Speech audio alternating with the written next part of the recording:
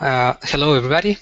Today is gonna be the first video of a series of short videos I'm gonna be doing on Java. Uh, so today I'll be using Cplex 12.6 and 64-bit and I'll be doing this example that I'm showing right here uh, on Java.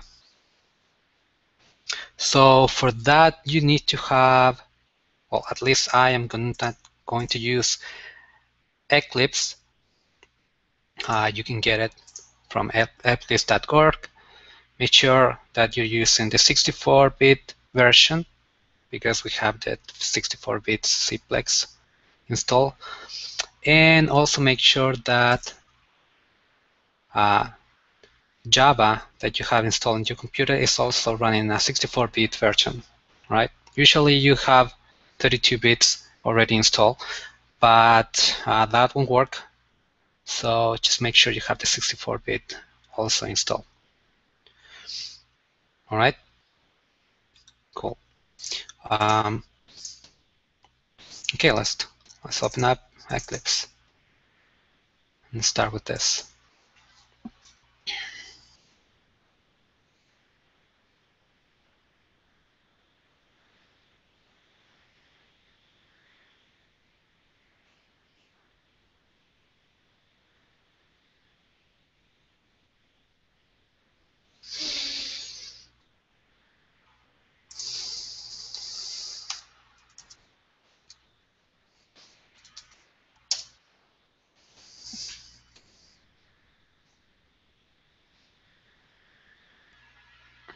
Okay, so I'll be doing this small sample linear programming. Uh, only two variables, three constraints, positive variables, and the feasible region is defined as you can see here in the picture.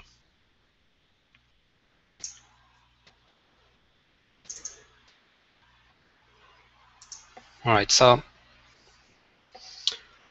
we go ahead here and create a new project, a new Java project.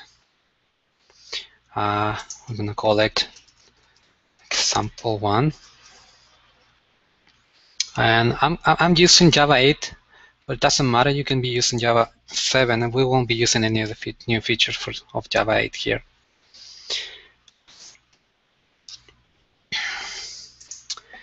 And go ahead here and create a new class. Uh, this is going to be our application there.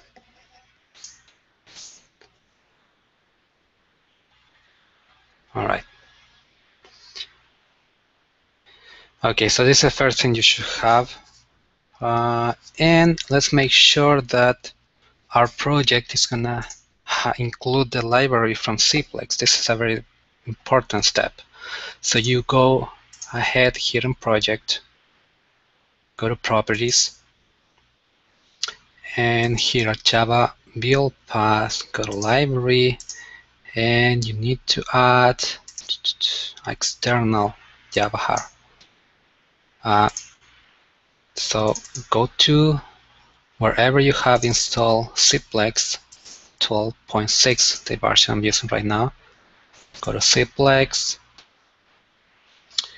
uh, library, and double click here. And one small step extract step, you go here, native library location, go here to edit it, and again, we need to find the DLL files, which are gonna be also where you have Cplex installed. And in this case, will be in this folder right here. Okay. See? All right. Perfect. So now our, our, our Cplex project is linked to Cplex. And to make sure that we are going to have that here, go ahead and do this, import ilog.concert for the concert technology.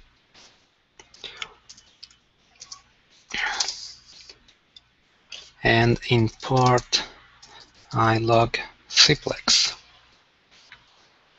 uh, to make that is going to help us to run the model, right? So we use the Concert technology to uh, write down the model and the Cplex library to solve it, right? Okay, let's create another method here where we're gonna uh, model model a problem. So we, all right, public static void, and this is gonna be model one. Okay.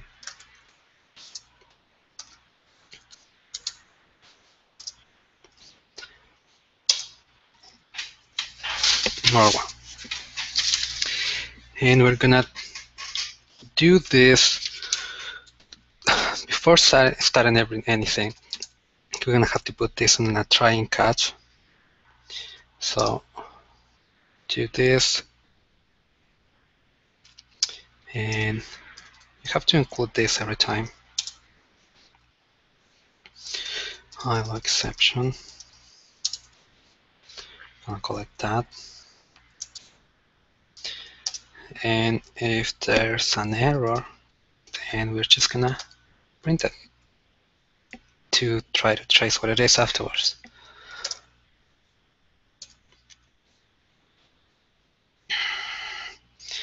And it looks like I have written something wrong here.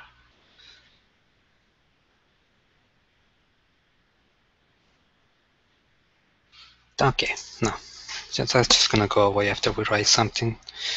All right, so we just start doing this. Uh, first of all, by uh, creating our model Okay, so right here we're, we're actually making a copy of the Cplex engine, uh, creating an instance of the Cplex engine that's going to solve our model. So everything we're going to write, we're going to write it uh, on that variable. right? okay, so let's start now with, uh, let's go ahead with defining some variables. So we have x and y. Remember that Java is case sensitive, so you really need to pay attention to the uh, to the upper and lower cases. So this is going to be a Cplex number. Uh, all right, so it goes from zero in this case, we see that it's positive, right? It starts in zero and goes to infinity. Uh, but infinity doesn't really exist on a computer, so we just call double and go to the maximum value, right? That's close enough to infinity. and we also have the option uh, here at the end to give it a name. So let's just give it a name, that'd be x.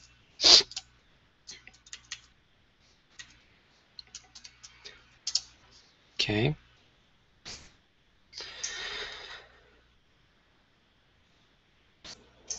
So the same thing goes with y, and I'm just going to go ahead and copy that code.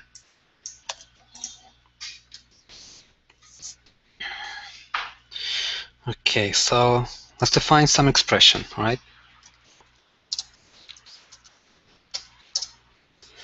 Some expressions. Uh, the objective.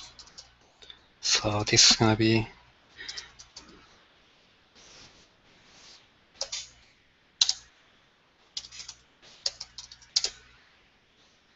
I'm going to call it objective.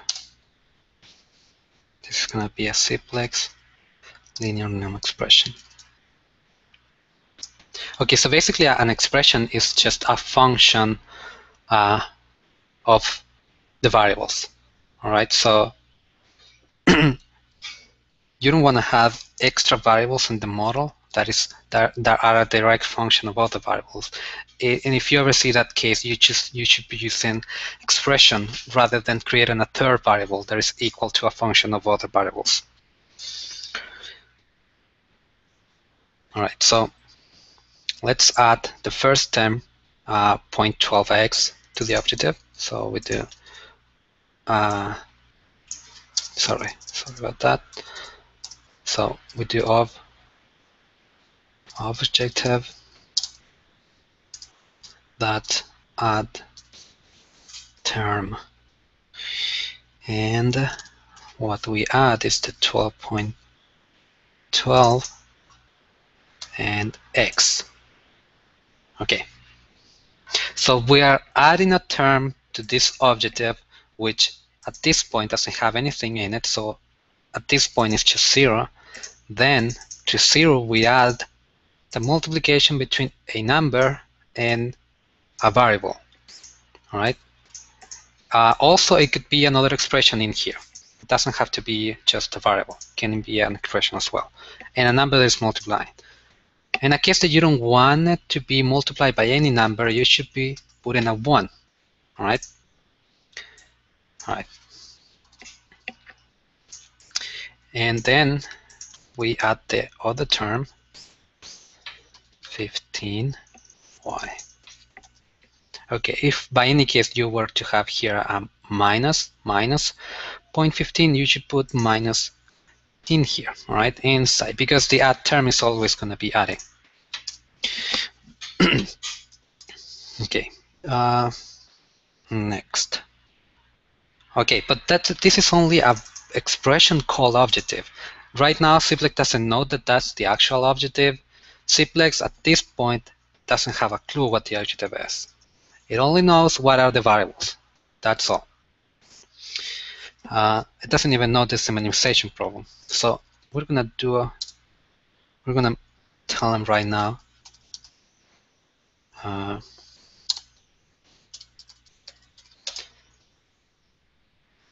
so right, right here we go Cplex add minimization problem minimize and inside we're gonna write the objective that we just created up here that's it now Cplex know that this is a minimization problem and the objective is 0.12x plus 0.15y. right that's really simple. Uh, next, define. Oh, we're gonna define the constraints.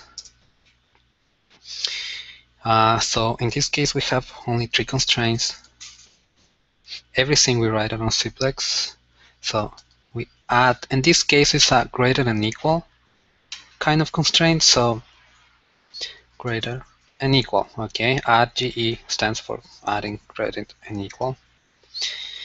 And uh, okay, so the first term in here should be uh, the left-hand side of the inequality, and the second term here should be the right-hand side of the inequality. We cannot just this is a total mistake. Try to write this. Uh, it just won't work. I mean, uh, X in this case is just an object in Java. Uh,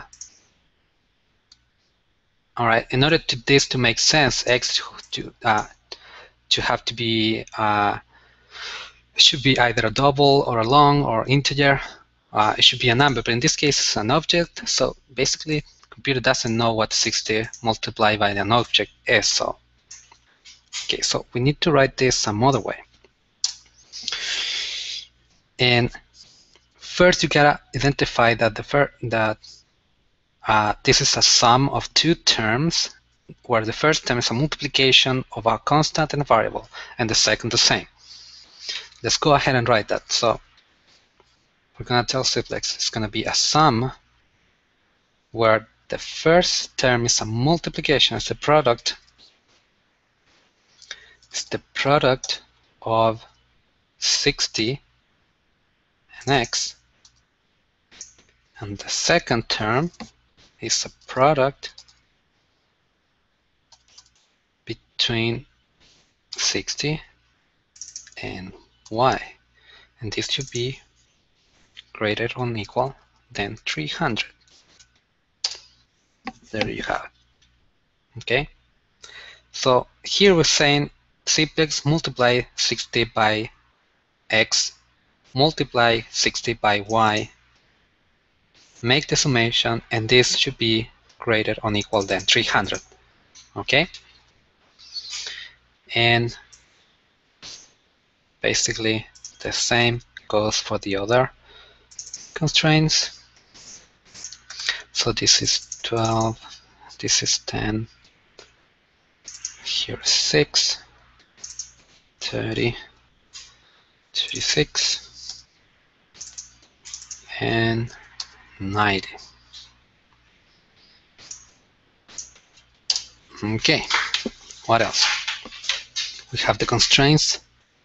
Now these last two constraints we already uh, we already wrote it are right here when we define the variables. We give it the so you don't need to add that constraint.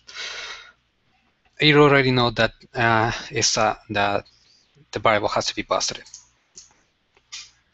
so the only thing here left to do is uh, let Cplex solve this.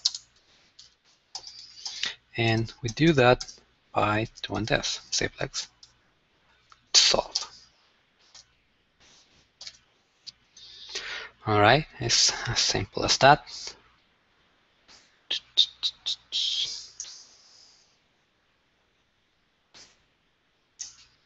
And since this project is going to start running in this method, the main method, uh, we're going to call our methods from here, we're going to call it in here. So it gets to be executed. Okay, so we have our first Cplex model in Java. Let's try to see if this runs.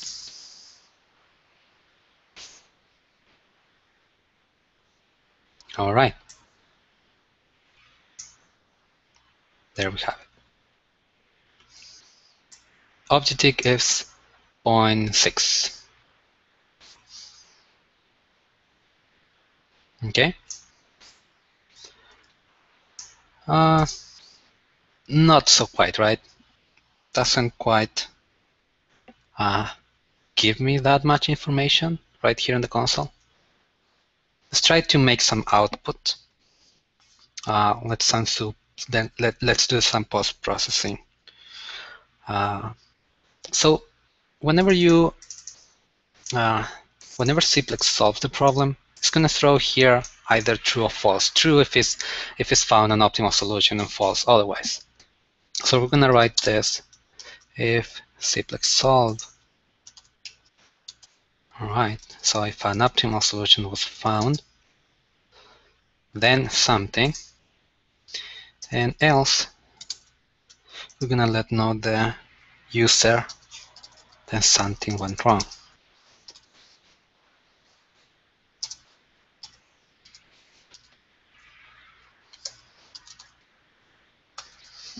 Hmm. So model not solved in this case. And uh, so as we solve it, we're gonna say system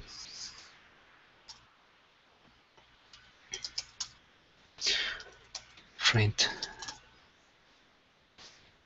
so the objective is going to be equal to so we call the objective this get Cplex get objective value. And something similar. Uh, I wanted to give me the x value and the y. Uh, so in this case, that get value, and we write what we want to get. That's the one get value for variable y. Okay, let's do this again.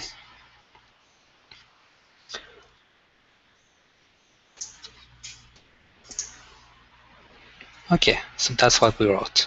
So our objective is in fact uh, 0.6666 and uh, the x value is 3 and the y value is 2. If you see here in the picture, right, is that point right over there. And this is it. This is enough for our first example. I hope this video is useful. Uh, make any comments. I'm going to try to answer all of the questions you have. Uh, thank you for seeing this video.